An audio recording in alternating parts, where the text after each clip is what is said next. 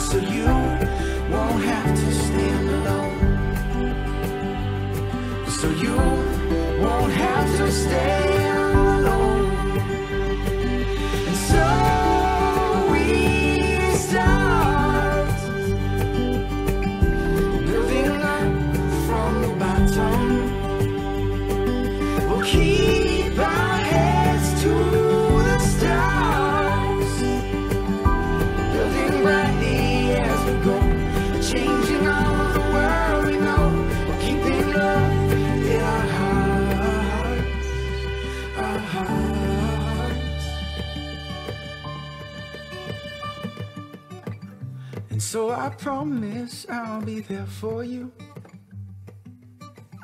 I'll pick you up when you fall. You know I'll be here when you need me to. You need me to, so you won't have to stand alone. So you won't have to stand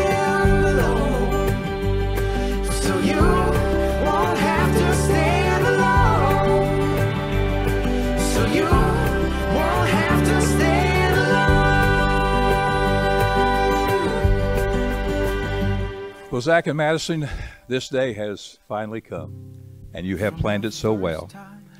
I want to charge you to keep before you that the Bible teaches that love is patient and it's kind. It does not envy, it does not boast, it is not self seeking. It is not easily angered, and it keeps no record of wrongs. Love does not delight in evil, but it rejoices with the truth. It always protects, it always trusts, and it always hopes, and it always perseveres. Love never fails. Love and respect are two of the essential attitudes to a successful marriage. As Jesus taught in the Sermon on the Mount, that where your treasure is, there is where your heart will be also. So I want to add one more word to love and respect. I want to add the word invest. That's what we do is that we invest in each other. Avoid taking each other for granted ever. Three key words that will give you a very wonderful and successful even though it will be tested and tried, but a very wonderful, successful marriage is love, respect, and invest. So we have some questions for you. Will you have Madison to be your wife?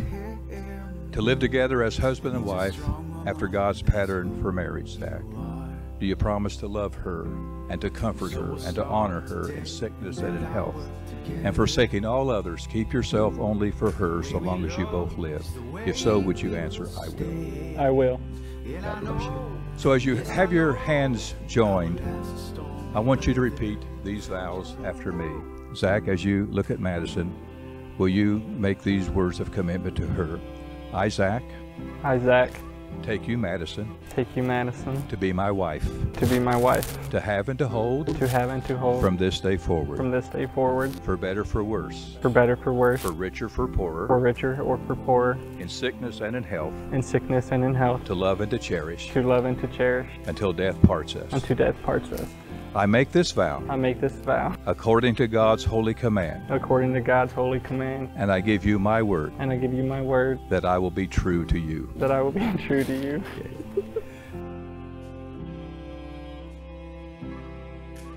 I, Madison, I, Madison, take you, Zach, take you, Zach, to be my husband, to be my husband, to have and to hold.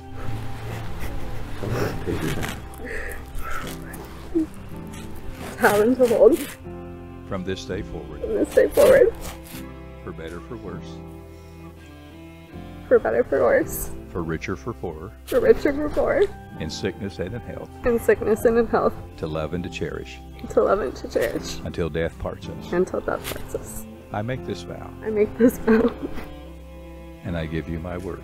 And I give you my word. That I will be true to you. that I will be true to you. As a servant of the gospel of Jesus and in accordance with the laws of the state of Indiana, I testify that they are husband and wife in the name of the Father, Son, and the Holy Spirit. You may kiss your wife.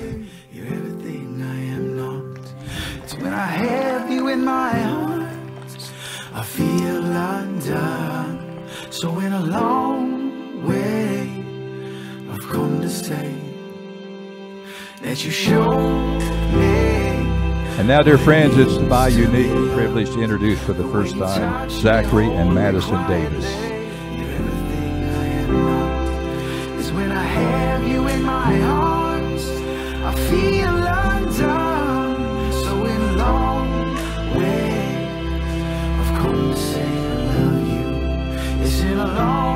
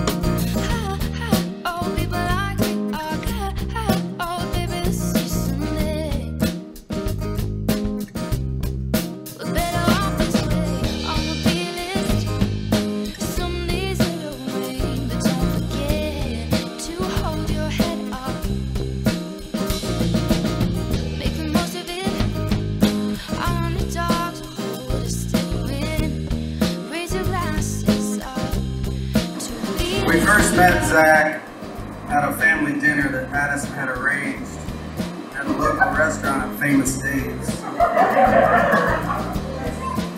I was impressed with Zach's politeness, his easygoing demeanor, which he still has today, and especially when I accidentally drank his entire glass of tea when he left the table.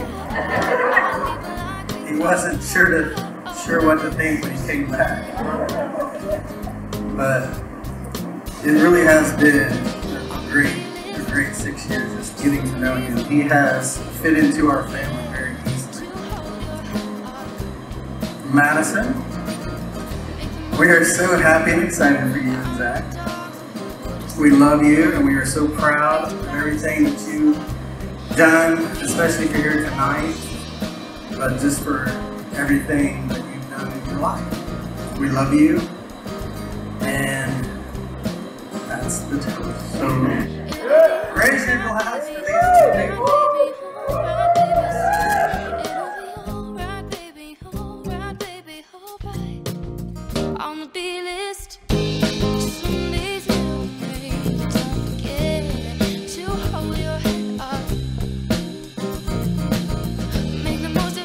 For those who don't know, Madison and Zach had art class together their senior year. And I remember Madison would come home and tell us about how there was this super annoying boy that would not leave her alone in that class. He was persistent on getting to know her, and she was just as persistent on not letting that happen. But she eventually let her guard down, obviously. And I'm sure both of them are happy that she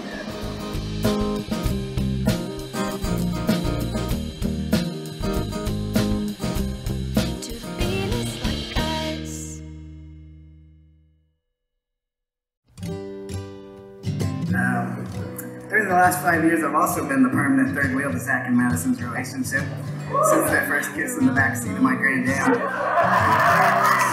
While I shaped the wheel in Miss Daisy style. The new relationship is perfect. It's been amazing to see them overcome any challenge they face so far. I believe this is due to the different experiences they have combined. A great marriage involves leaning on each other's strengths to become stronger than you ever could individually. Here's to the good times that have already happened, to all the good times that are yet to come. Congratulations on your marriage, Zach and Madison.